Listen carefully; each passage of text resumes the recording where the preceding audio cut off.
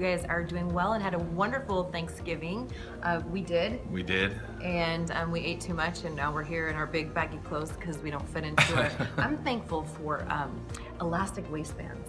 Yes. Those are the best because you don't feel it until you put your jeans on on Monday and go, oh my gosh. I, I got stretchy pants. I oh, love stretchy pants. Stretchy jeans. I guess that's jeans. the answer. I'm not sure. it's like elastic waist. Hopefully you guys had an awesome Thanksgiving. We did. Um, father-in-law got locked out of the house. There was so much chaos. He took the dog's potty and didn't know the code to get back in the house. but have you ever had it where your house is so chaotic that uh, you just uh, things get lost in the shuffle? He's pounding the door and we're not calling our cell phones. Nobody's answering. So either we were passed out with food, but we were having so much fun. It was so loud in our house, and hopefully you guys had a loud, loving Thanksgiving and uh, full of lots of things. But we're coming Absolutely. down to Christmas. We're talking about yeah. life, and hopefully you guys are finding uh, life in Jesus on your spiritual journey. Uh, we're here to encourage you guys, and that's what we're doing today. We're talking about um, our Heavenly Father versus our earthly Father. And you know, sometimes it's crazy because sometimes our dad will ask us to do things that makes no sense to yeah. us. And um, we're so frustrated, but yet it's for our benefit. And, and our Heavenly Father does the same thing. He asks of us to do certain things it may hurt or it may be something very difficult, but God asked us to because it's for our benefit. It's not, you know, for him, but he's it's for our benefit. I think one of the challenges we talk about our heavenly Father is we we project our earthly fathers onto our heavenly Father, and sometimes that's a really good thing. You know, I have a great dad, and you have a great dad, and um, you know, and stepdad. We, we we have wonderful parents, but sometimes I remember I was preaching one time, and I was using the word heavenly Father, and a lady came up to me and said, "Will you stop using using the word father and associating with Jesus and, and, and, God. And I was like, what are you talking about? She goes, because my father abused me so bad, I get this picture of God doing the same thing to me. And I was just taken back. But the fact is, he is the ultimate father and he cares more than anything else on this earth uh, uh cares about us. And so that's an amazing thing. So we have to kind of look at God from a new perspective. Absolutely, and, and and I always say too is if you had a bad experience with your physical father on earth, that everything that you didn't have in a father is your heavenly father. You know, so you can experience the worst of the worst on this earth, but your heavenly father is is everything imaginable that you could even imagine him to be. And, and I love it in where it says in Isaiah that it says his ways are better than our ways, and and you know, and that's so true.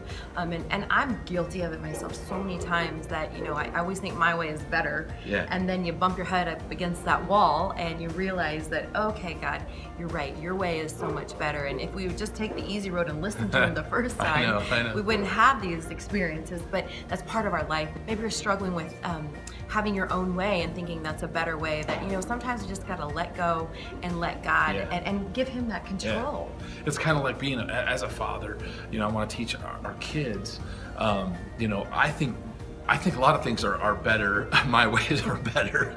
And our ways are only. Isn't that part of parenting is trying to convince them that our ways are better? But, but in, in fact, line. I'm becoming my dad now. You know, it's crazy. But at the same time, God ultimately sees this bigger picture and understands all things, and and it's He has a lot of responsibility as a father. To be think, if you think about it, you He's know, got a lot of children. He's got a lot of children. He's got a lot of children with a lot of problems. With a lot of stuff going on. And uh, but I like what you said, um, how there's a fine line of you know controlling or your way is better. But there's also God gives us free will. That's you right. know, and, and same thing as parents, as you're letting your children go, um, you give them the free will, but you also want to encourage them and give them advice. Yeah. You know, and and a little wisdom. God gives us the same thing. He gives us that free will, but He loves us so much, yeah. and so His ways are ultimately better than our way. So stop fighting that and and and let him. Let it's him a daily it. struggle, yeah. and I'm going to tell you what, you guys.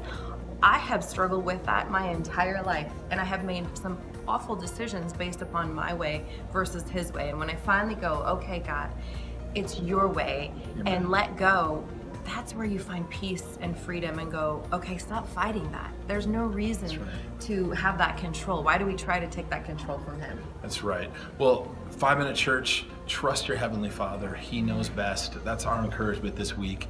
Trust, trust Him. He knows what's better. No matter what you're going through and Amen. whatever that decision may be, God's way is better than your way. Trust me. Trust me. Trust me. Trust him. Trust us. we love you guys. Thanks for tuning in. Uh, if you need anything, we're here for you. Reach out to us on the app, and thank you guys for tuning in.